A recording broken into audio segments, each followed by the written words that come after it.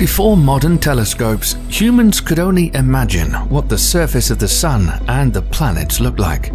Now, advanced technology has made it possible to get in close and take images of the Sun and the planets deep in our solar system. Now, get ready to see the solar system as you've never seen it before and see images that were so good they shocked astronomers.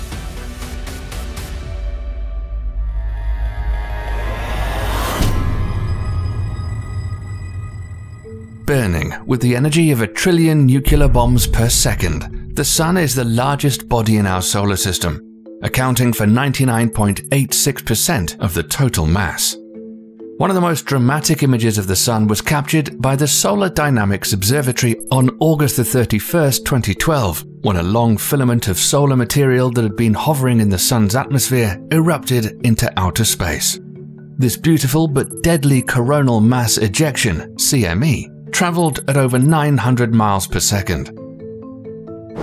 The planet closest to the Sun, orbiting at an average distance of 36 million miles, Mercury, has been studied by many spacecraft throughout the years. But NASA's MESSENGER spacecraft was the first to orbit the planet.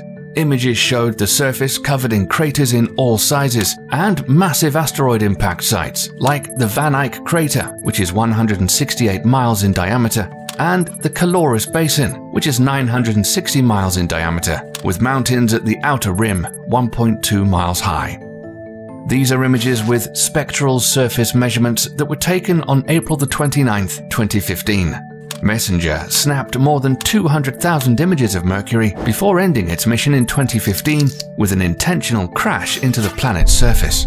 The probe's demise was inevitable, as Messenger had been orbiting Mercury since March 2011 and had run out of fuel.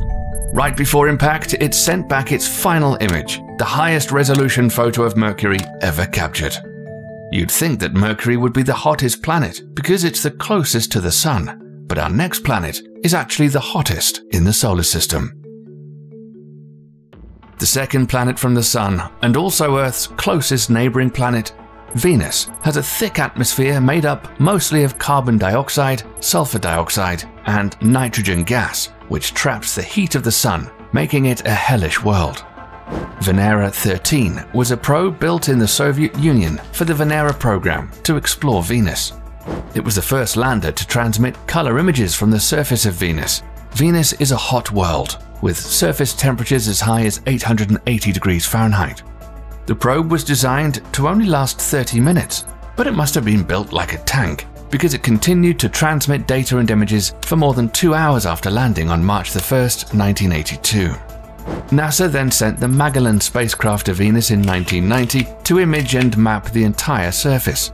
It sent back images of the planet's surface showing evidence of volcanism, tectonic plate movement, turbulent surface winds, and miles of lava channels including one measuring 5,550 miles long.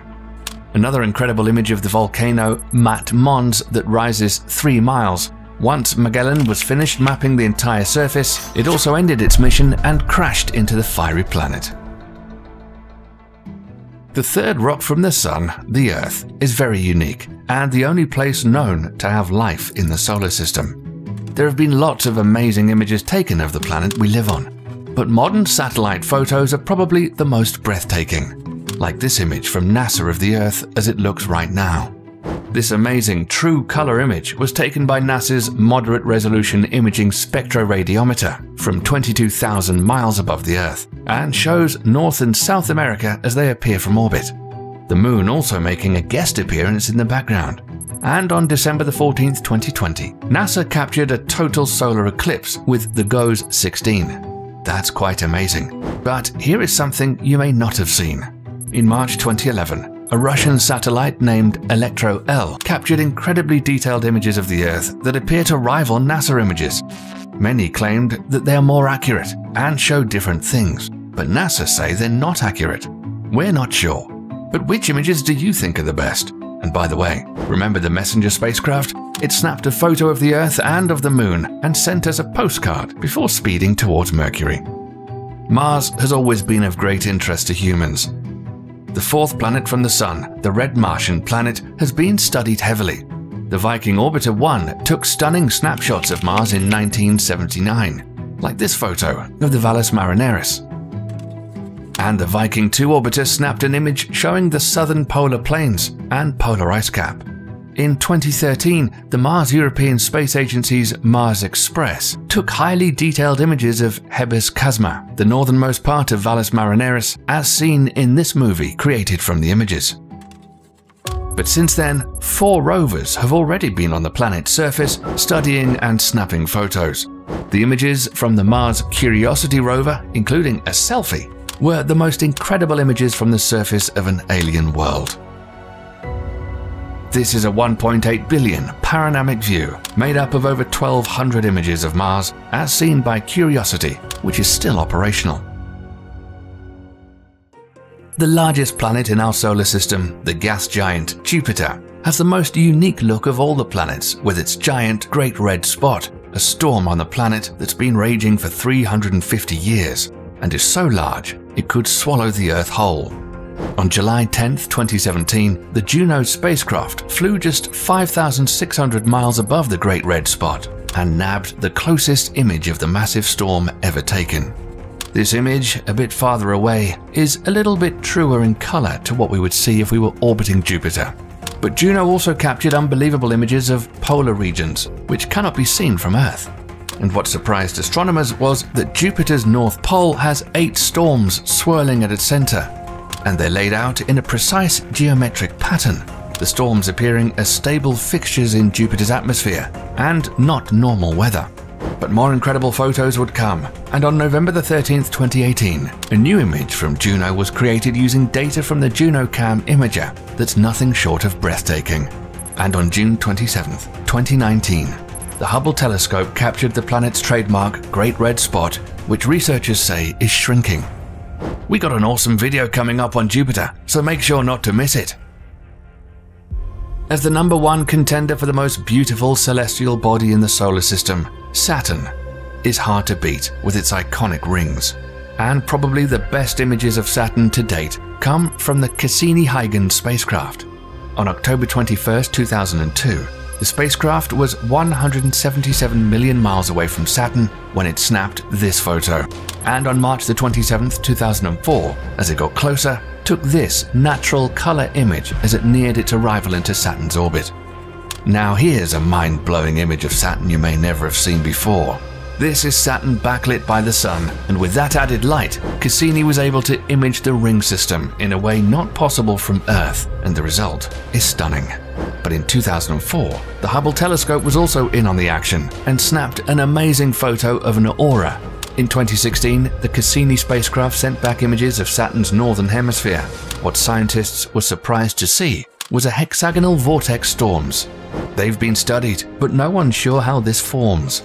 On September the 15th, 2017, the spacecraft made its final approach towards the gas giant, and before sending this final image, burned up in Saturn's atmosphere like a meteor. Known as the sideways planet because it rotates on its side, the seventh planet from the Sun. One of the best images taken, Voyager 2, made a flyby of the planet in 1999, and this image was taken using three color filters. And on July the 11th and 12th, 2004, a composite image of Uranus obtained by the Keck telescope was published showing the icy cold world and its rings. Those bright spots that you see on the surface of the planet are auras. In November of 2011, the Hubble telescope snapped an awesome image of Uranus, and a colorized photo shows an icy blue sphere with red rings. And in 2017, the Hubble telescope captured auras again on Uranus. Neptune is the eighth planet in our solar system and the farthest away from the Sun. The only spacecraft that's been close to Neptune is Voyager 2.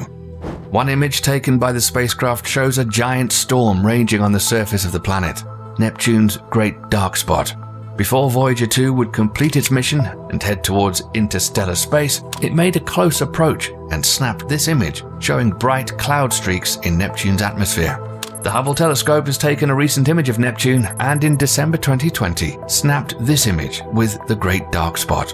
because it's so far away from us. The best images we have of Neptune from Earth so far was taken by the European Southern Observatory's Very Large Telescope using a special narrow field adaptive optics mode of the multi unit Spectroscopic Explorer instrument.